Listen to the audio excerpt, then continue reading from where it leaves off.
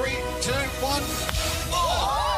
这四个巨大的礼物盒子里分别装了四位乐高大师往季选手。十二小时内，每个选手都要带一名不会玩乐高的嘉宾，在拉炮里搭建出一个大师级的圣诞节作品。不知道拉炮是啥的，现在在输入法里输入这俩字，出现的那个 emoji 就是拉炮。首先是长得有点像海瑟薇的嘉宾卷发妹，她的搭档是第一季的亚军大胡子。总决赛里，他们二十八小时干出来的巨型游乐园输给了波塞冬。他们准备做一个圣诞城堡，卷发妹养了两只山羊，一只叫草莓，一只叫奶油。于是她提出。能不能在城堡附近放一些乐高山羊？但被胡子哥一口否决，因为全世界只有一种套装里有乐高山羊零件，而且山羊的模具已经被乐高自己毁了。于是乐高山羊成为了绝版。查了一下国内的海鲜市场，完全没有。而外网目前最便宜的是六十三欧元一只，再加点可以买只真的了。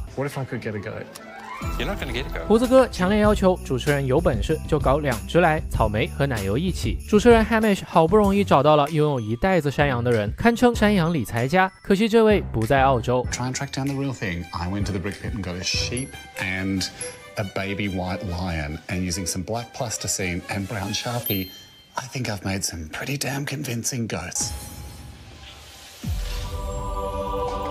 What do you reckon, Ed? 胡子哥这下坚信了，主持人不可能拿到山羊，根本就是来捣乱的。每年的圣诞季，选手们都会有一项特殊待遇，可以免费使用一小时的 Brickman，也是一年中唯一能看到专男亲自炫技的机会。于是胡子哥让 Brickman 帮忙搭了个谷仓，缓解压力。Look at that. Thank you, Brickman. Thanks, Brickman. 十二个小时眼看就要结束了，如果这时能有一只价值六百元的山羊零件放进去，至少会给作品升值六百元。Hey G. Inside this box is something I think you want to see. 他们给作品注入了价值六百元的灵魂后，比赛也刚好结束。Three, two, one.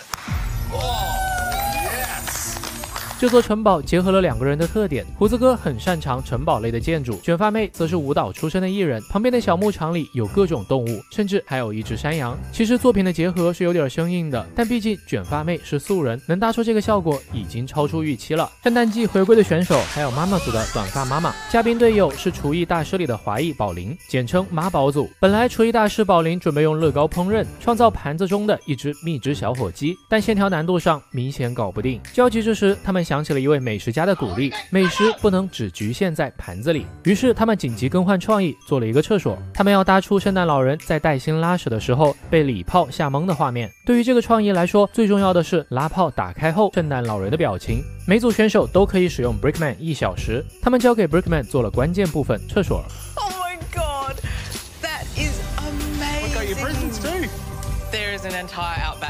但介于这是一档电视节目，圣诞老人的关键部位不打码可能会收到投诉，于是他们放了一个小礼物盒在圣诞老人的腿上。接下来由主持人和评委一起拉响礼炮。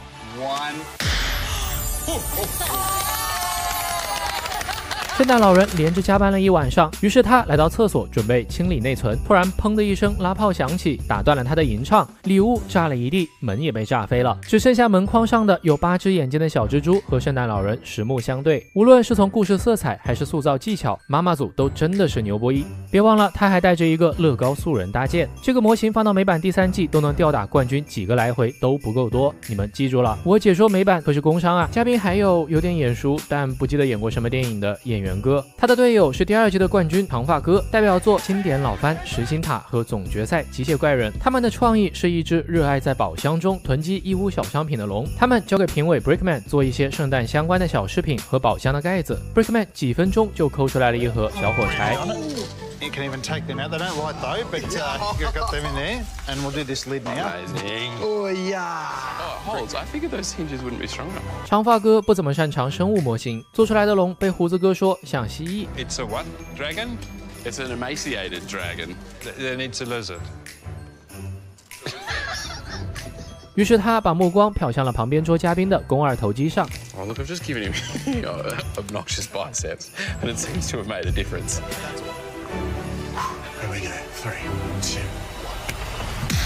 礼炮一拉响，龙头被震得微微晃动。守护拉炮小饰品的龙趴在宝箱上，里面放着他的收集成就。有一群人在正带着自己的贡品准备送给拉炮龙，颜色上和故事融合精妙。龙用了最少的砖块达到了最好的塑形，可惜龙体型太小，撑不起来画面。如果替换成一个大体型的翼龙，作品气质就又不一样了。给嘉宾 Darren 分配的队友是妈妈组的另一位。他们准备做一个坐在圣诞礼炮中的烤鸡，被礼炮的巨响吓傻的一瞬间，他们请求 brickman 帮他们做火鸡的两个翅膀。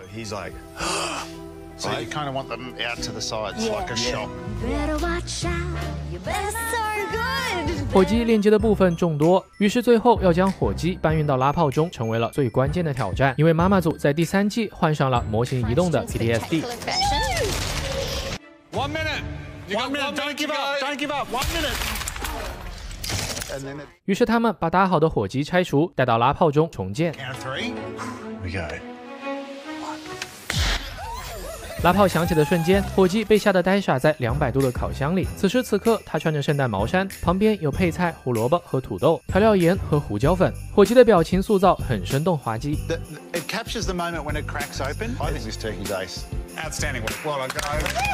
长发老哥的龙做的不够大，胡子哥和卷发妹搭建上没亮点。排除法最后只剩厕所组和火鸡组，两组中 Brickman 选择了火鸡组作为第一场比赛的胜出队伍。下一期 Wonderland. This is a great model, guys.